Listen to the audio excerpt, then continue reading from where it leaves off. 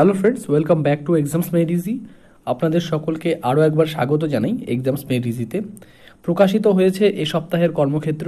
এই ভিডিওটার মাধ্যমে এক সপ্তাহের সমস্ত রকম নতুন যে চাকরিগুলো বেরিয়েছে তার আপডেটস দেখে নেব। এবং এর থেকে কোনো একটা নির্দিষ্ট রিক্রুটমেন্ট সম্পর্কে বা রিক্রুটমেন্ট নিয়ে যদি আপনাদের মনে হয় আলাদা ভিডিও প্রয়োজন কমেন্ট বক্সে কমেন্ট করে জানালে সেই সব রিক্রুটমেন্ট নিয়ে কিন্তু আমরা সেপারেট ভিডিও আপনাদের সামনে তুলে ধরবো। তো এই সপ্তাহের কর্মক্ষেত্রে যদি আমরা রিক্রুটমেন্টগুলোকে দেখি, তো সবার আগে যে রিক্রুটমেন্টে চোখ রাখব সেটা হচ্ছে আড়াই এনএলএ রাষ্ট্রীয় ইস্পাত নিগম লিমিটেড ভাইজ্যাক সেখানে কিন্তু তিনশো উনিশ জন অ্যাপ্রেন্টিস নিচ্ছে। তো এক্ষেত্রে বেসিক্যালি আইটিআই কোর্স যারা পাশ করেছে, তারা আবেদনের যোগ্য। তো এটা কী নিয়ে, কী নিচ্ছে চলুন দেখে নিই। এক্ষেত্রে বলা হয়েছে যে থ্রি হান্ড্রেড নাইনটিন ভ্যাকেন্সিজ রয়েছে। সেক্ষেত্রে শিক্ষাগত যোগ্যতা বলেছে যারা আইটিআই কোর্স পাশ করেছে এবং এনসিভিটি সার্টিফিকেট প্রাপ্ত যারা রয়েছে। এবং বয়স আঠেরো থেকে পঁচিশ বছরের মধ্যে দু হাজার কুড়ির নভেম্বর অক্টোবর মাসে এবং এবারে দৈহিক প্রতিবন্ধীরা পাঁচ তিন এবং দশ বছর এসসি এসটিরা ছাড় পাবে। অর্থাৎ এসসি এসটি হলে পাঁচ বছর, পার্সন উইথ ডিসঅ্যাবিলিটিস হলে দশ বছর, ওবিসি হলে তিন বছর। এবারে কোন কোন বিষয়গুলোতে নিয়োগ হতে যাচ্ছে? Fitter, turner, machinist, mechanic machine tool maintenance electrician, mechanic, refrigeration and air কন্ডিশনিংয়ের ক্ষেত্রে। এবারে মাসিক আট হাজার পঞ্চাশ থেকে সাত হাজার সাতশো টাকা করে এক্ষেত্রে স্টাইপেন্ড বা ভাতা দেওয়া হবে।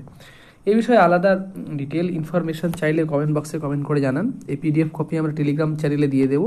এছাড়াও এই যে লিঙ্কটা দেখতে পাচ্ছেন অ্যাপ্রেন্টিসশিপ ইন্ডিয়া ডট ওয়ার্জি এটা ফলো করে কিন্তু আপনারা এই বিষয়ে ডিটেলড ইনফরমেশন পেতে পারেন।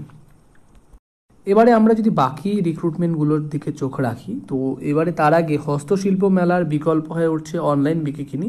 তো এটা স্পেসিফিক কোনো রিক্রুটমেন্ট নোটিফিকেশন নয়, তাই আমরা সেটাতে ফোকাস করছি না। আপনারা চাইলে আমাদের টেলিগ্রাম চ্যানেলে থেকে পিডিএফ কপিটা কালেক্ট করে কিন্তু এ বিষয়ে দেখে নিতে পারেন। কলকাতা পুরসভায় ডাক্তার, তো কেএমসিতে নতুন নিয়োগ আপাতত হচ্ছে না অনেক দিন ধরেই।